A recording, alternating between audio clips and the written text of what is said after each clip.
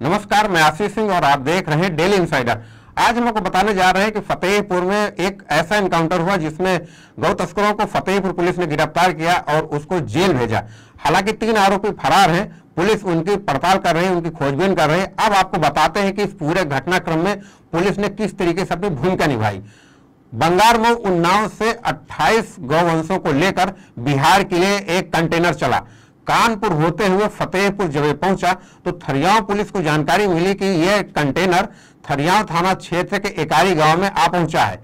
और जैसे ही पुलिस को सूचना मिली, पुलिस ने अपनी पूरी टीम बनाई और इस कंटेनर को पकड़ने के लिए पूरा अभियान शुरू किया। इस अभियान में जो आरोपी थे, उन्होंने पुलिस पर गोली फायर की। अपने अवैध तमंचे से फायर जब हुआ तो पुलिस असहज हुई और उसके बाद पुलिस ने आत्मरक्षा में फायरिंग की जवाबी कार्रवाई की और इस जवाबी कार्रवाई में एक आरोपी के पैर में गोली लगी और वो वहीं पर ढेर हो गया।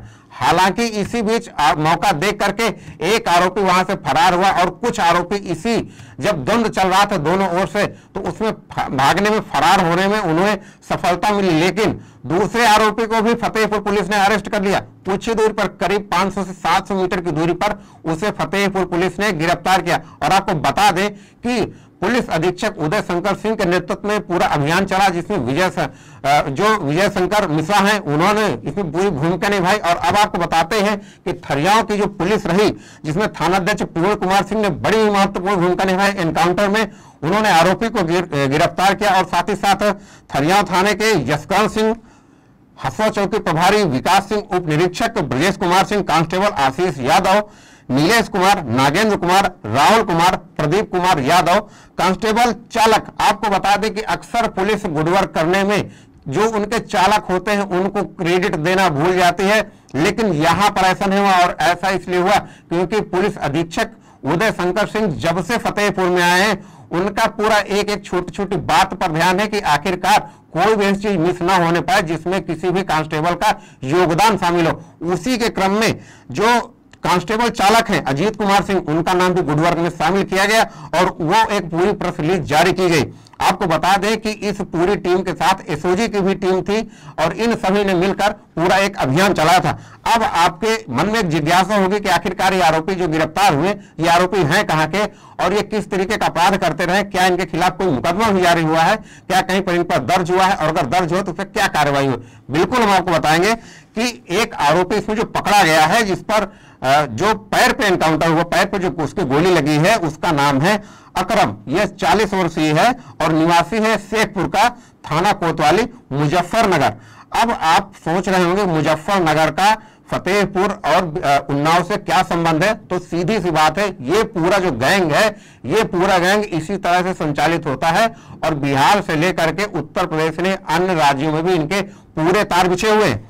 इसमें 30 वर्षीय जो आरोपी, बिल्कुल युवा आरोपी अरेस्ट हुआ है, जो पकड़ा गया है, नवीद नाम उसका। यह भी इसके, और ये जो रहने वाला है, रथेड़ी थाना नई मंडी, मुजफ्फरनगर, एक ही जनपद के रहने वाले हैं अलग अलग थाना क्षेत्रों के तीस वर्षीय युवा अरेस्ट हुआ इसमें।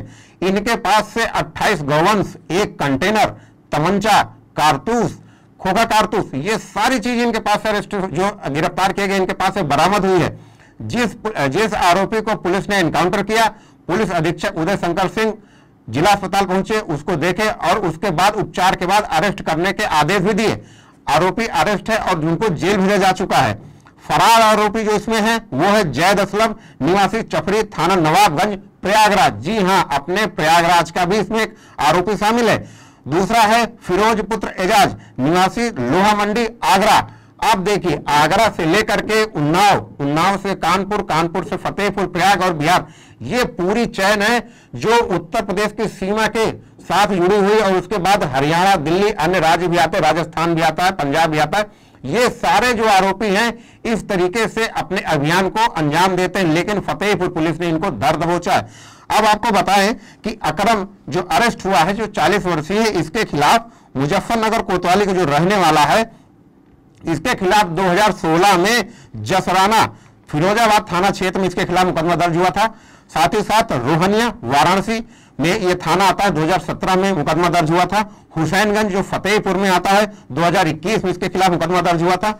जैद पुत्र नन्नू निवासी, ये जो जो पकड़ा गया है, इसके खिलाफ पुलिस ने भी पूरे एक प्रेस रिलीज़ जारी करके इसकी जानकारी दी और साथ ही साथ जैद असलम जैद पुत्र असलम निवासी चपरी थाना नवाबगंज, जो फरार है, प्रयागराज का रहने वाला है।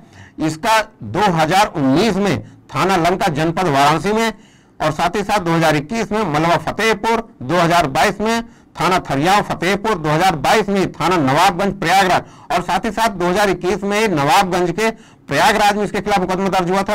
इसी तरह जैद पुत्र असलम निवासी चफरी थाना नवाबगंज प्रयागराज के जो आरोपी है, इसके खिलाफ भी कई मामले दर्ज हैं, ये अभी फरार बताया जा रहा है।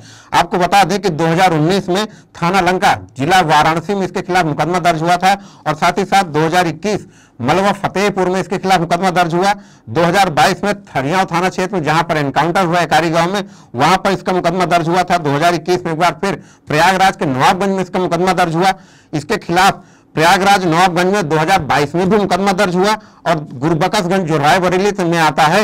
यहाँ पर 2022 में इसके खिलाफ मुकदमा दर्ज किया गया था। आपको बता दें कि 2022 में जब इसके खिलाफ मुकदमा दर्ज हुआ रायबरेली में तो इसी गुरबकसगंज थाने से इसके खिलाफ गैंगस्टर अधिनियम के तहत कार्रवाई की गई थी और इसके जो गैंग के जो सदस्य हैं, उन सभी को इसके तहत पंजीकृत किया गया था। पुलिस की कार्रवाई हुई थी, लेकिन इन सब के बीच कहीं ना कहीं ये सारे आरोपी फरार होते रहे हैं, जमानत पे आते रहे और फिर अपराध करते रहे, क्योंकि अगर ऐसा ना हुआ होता तो एक बार ये फिर से 28 गौवंशों को लेकर के इस तरीके से उन्नाव, कानपुर, फतेहपुर और प्रयागराज होते हुए ये बिहार न जा रहा होता। अब देखने वाली बात यह होगी कि जिस तरीके से फतेहपुर पुलिस ने कार्रवाई की है और इन आरोपियों को इनकी सही जगह पहुँचाया है, कहीं ना कहीं इससे जो गौ तस्कर है, उन पे एक दहशत का माहौल है। और बता दें हम आपको कि फतेहपुर में लगातार गौवंशों के संरक्षण के लिए इनके आरोपियों के खिलाफ जो भी जो भी गौ तस्करी की चाहे बात रही हो, चाहे जो गौ मांस की चाहे व्यापार की बात रही हो इन सभी के खिलाफ कार्रवाई हो रही है। अब एक चीज़ हम आपको बताना चाहेंगे, फतेहपुर पुलिस की जो कार्रवाई हुई, उसमें सबसे जो विशेष योगदान रहा है, वो रहा है थाना अध्यक्ष प्रवीण कुमार सिंह का। प्रवीण कुमार सिंह अभी बीते दिनों धाता थाना क्षेत्र से आए हैं इन्होंने निकाय चुनाव में बेहद ही शानदार अपना रोल निभाया और इसी के कारण इनको थरियाओं जैसी जगह पे जो हाईवे पर है, लगातार ऐसी घटनाएँ होती रहती है। और आपको बता दें कि थरियाओं थाना क्षेत्र में लगातार करीब दो से तीन एनकाउंटर अब तक हो चुके हैं और हसुआ जो क्षेत्र है, हसुआ के आसपास अक्सर ऐसी घटनाएँ होती रहती हैं। और साथ ही साथ पूरा जो हाईवे, जो एक, आपका कानपुर से, कानपुर के बाद छिवली नदी से और हिनौता तक जो जाता है जो यहाँ से शुरू होता है ये पूरा का पूरा एरिया यहाँ पर अक्सर इस तरीके की घटनाएँ देखने सुनने को मिलती रही हैं और यही कह रहा है कि फतेहपुर पुलिस ने जो पूरा एक अभियान किया है, वो कहीं ना कहीं गौवंश के जो तस्कर हैं, उन पर एक बड़ा कुठाराघात माना जा सकता है। ये जो पूरा मंजिल गाँव तक आपको बता दें, मंजिल गाँव को उल्लेख हम इसलिए कर रहे हैं क्योंकि मंजिल गाँव में कभी प्रवीण कुमार सिंह चौकी प्रभारी थे और अब उसके बाद ये जब थरियाओं में आए तो इनके पास जो इनका जो तंत्र है, जो खुफिया तंत्र है, वो बेहद मज़बूत रहा। उसका यही कारण रहा कि इनको एक बड़े गुडवर की कामयाबी मिली। आपको बता दें कि फतेहपुर पुलिस अधीक्षक उदय शंकर सिंह, इस गुडवर्क पर सभी पुलिस कर्मियों को उन्होंने शुभकामनाएँ दी हैं और उम्मीद जताई कि इस तरीके गुडवर्क आगे भी होते रहेंगे। टीम और थाना थरियाव पुलिस के द्वारा मुखबिर की सूचना के आधार पर एक गौ तस्करी कर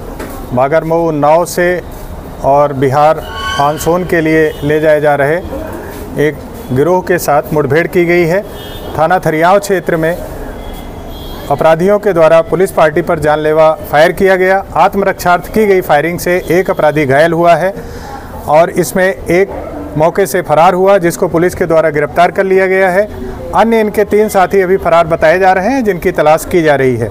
उल्लेखनीय है कि एक इस गिरोह के द्वारा जनपद आगरा मुजफ्फरनगर फिरोज़ाबाद प्रयागराज वाराणसी में पूर्व में अपराध कारित किए गए हैं जिनके बारे में गहराई से छानबीन की जा रही है और आवश्यक वैधानिक कार्यवाही इसमें अमल में लाई जा रही है।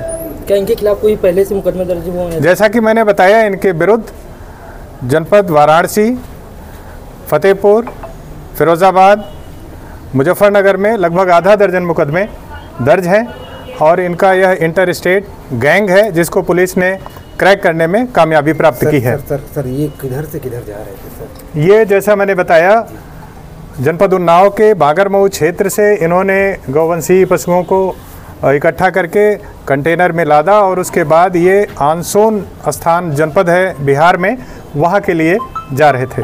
ठीक धन्यवाद सर। तो बिल्कुल आप हमारे साथ बने रहिए आगे भी देखते रहिए क्या कुछ अपडेट है। डेली इंसाइडर के साथ आप जुड़े रहिए और बने रहिए। हमें दीजिए इजाज़त। नमस्कार। यूपी और देश दुनिया की तमाम ताज़ा तरीन खबरों के लिए गूगल प्ले स्टोर से आज ही डाउनलोड करें हमारा तेज़ी से उभरता न्यूज़ ऐप डेली इंसाइडर